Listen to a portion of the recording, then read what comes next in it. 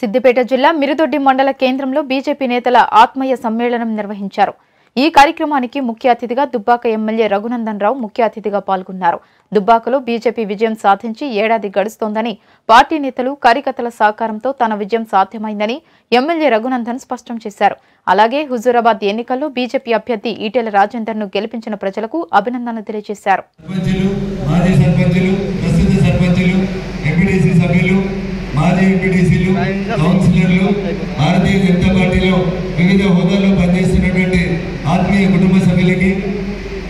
రెండు వేల పద్నాలుగు రెండు వేల పద్దెనిమిది రెండు వేల ఇరవైలో జరిగినటువంటి ఎన్నికల్లో అనేక కష్టాలను ఓర్చుకొని నాతో పాటు కథ కథగా నడిపి పోయిన నవంబర్ మూడో తారీఖులో జరిగినటువంటి దుబ్బాక శాసనసభ నియోజకవర్గ ఉప ఎన్నికల్లో నాతో పాటు కథ కథను కలిపి నడిచినటువంటి బూత్ కమిటీ అధ్యక్షులకి కార్యదర్శులకి బూత్ కమిటీ సభ్యులకి ఈ రోజు ఈ కార్యక్రమంలో పాల్పంచుకుంటున్నటువంటి భారతీయ జనతా పార్టీ ఆత్మీయ కుటుంబ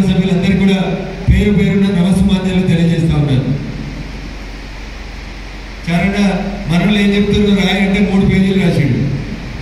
ఈ మూడు పేజీలు చదివితే మనకు అర్ధగంట పోతుంది కానీ స్థూలంగా ఇందులో ఉన్నటువంటి అంశాలన్నింటినీ కూడా మీ దృష్టికి తీసుకొచ్చేటువంటి ప్రయత్నం చేస్తాను. చాలా మందిలో ఒకటే ఒక ప్రశ్న అడుగుతా మీ ఎమ్మెల్యే గెలిచి ఏం చేసిండు? ఏడాది అయింది. మాకేమొచ్చింది?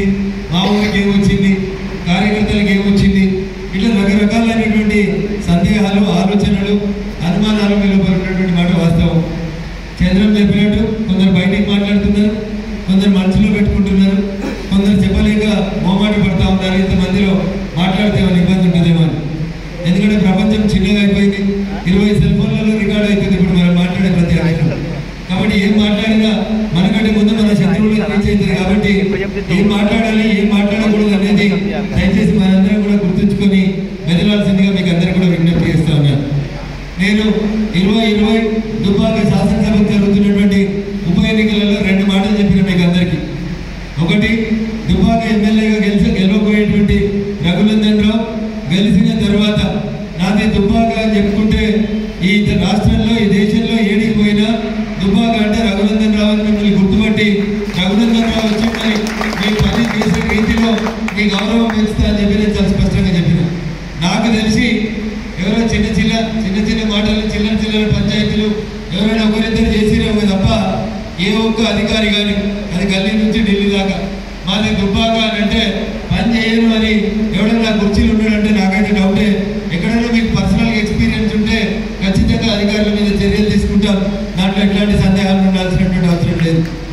మీద